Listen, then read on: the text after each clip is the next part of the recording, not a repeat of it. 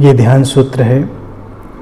Meditation is being open receptive and in harmony with the universe ध्यान इस जगत के साथ खुला हुआ होना, ग्रहणशील होना और समस्वरता में होना है।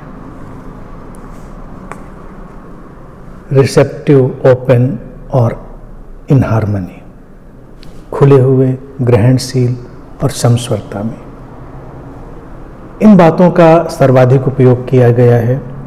मैंने भी इन शब्दों का बहुत उपयोग किया है। और देखा जाए तो ये आधारभूत और सबसे महत्वपूर्ण शब्द हैं और इन शब्दों के पीछे जो समझ है वो भी। सूत्र कहता है कि ध्यान और क्या है? ध्यान से हम किसी रहस्य लोक में जाने की बात नहीं कर रहे हैं। या कोई रहस्यात्मक दुनिया रचने की बात नहीं है। ध्यान तो जहाँ है, वहीं होना है, लेकिन उस होने को ही रूपांतरित कर लेना है। और वो होगा कैसे? जब ये पूरा जगत जो हमारे चारों तरफ़ परिव्याप्त है, इसके प्रति हम खुलेंगे, इसके प्रति हम ग्रहणशील होंगे, और उसकी लय में आएँगे, उसकी हारमोनी में, उसकी समस्वरता में तो इसका जो परिणाम होगा इसकी जो निष्पत्ति होगी, वही ध्यान होगा। अभी के व्यक्ति की समस्या क्या है? तमाम कारणों से, पूर्वाग्रहों से भी, और जाने अनजाने जो भय हैं, उनके कारण व्यक्ति बंद हो गया है। ग्रहणशील नहीं रह गया है। और उसके जीवन की लय, उसकी जो हारमोनी है, वो टूटी टूटी सी। अब इसका परिणाम क्या होता है? कि व्यक्ति अपने भीतर भी बंद होता चला जाता है। अपने भीतर भी उसकी जो लय है वो टूटती चली जाती है। तो ये सामान्य सी प्रक्रिया व्यक्ति के भीतर कई तरह के शारीरिक, मानसिक अस्वास्थ्य को लेकर आ जाती है।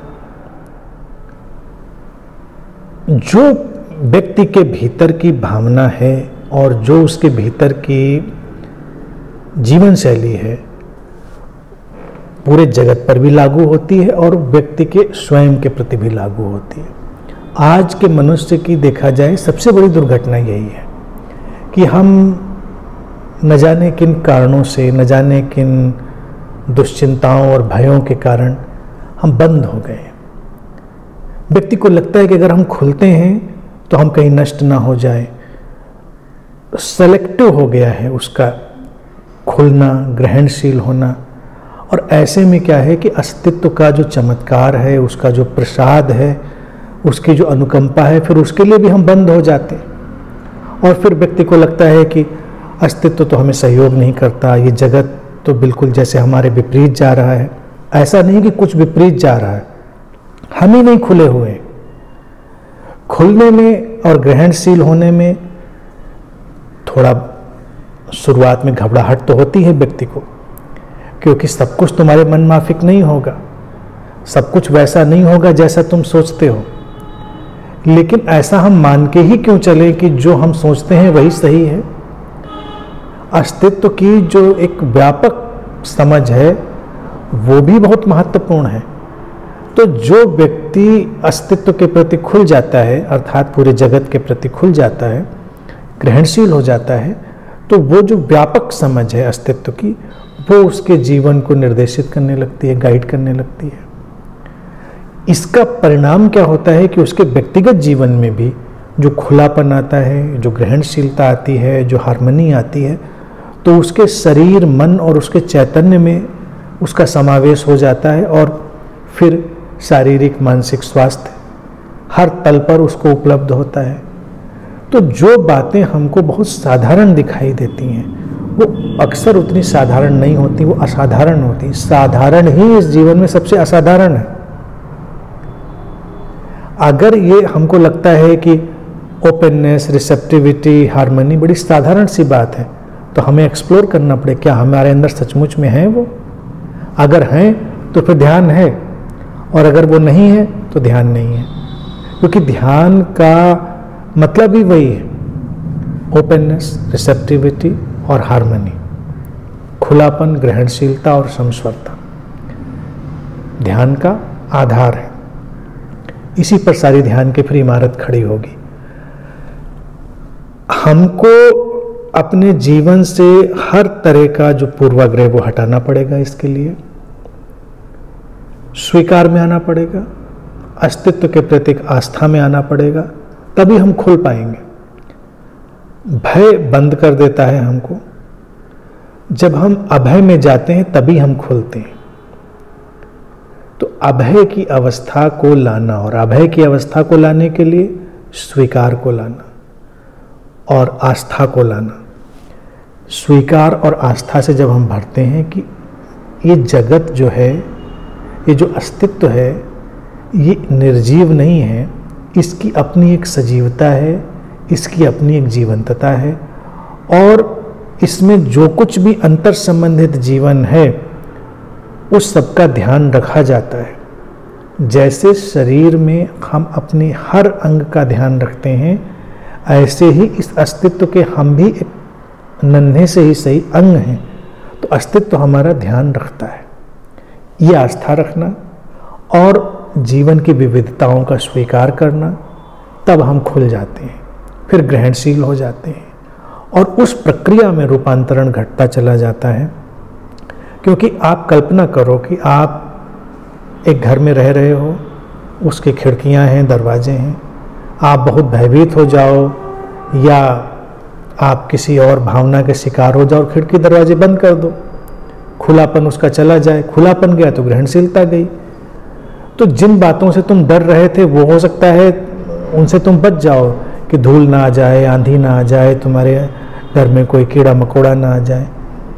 लेकिन फिर तुम और भी तमाम चीज़ों से बच जाओगे कि अच्छी हवाएँ आएँगी, वो भी तो नहीं आएँगी, कीड़े मकोड़े ही नहीं, सुंदर और चीज़ें भी आएँगी, अतिथि आएँगे, मेहमान आएँगे, तुम खोलोगे ही नहीं तो फिर कैसे कुछ होगा?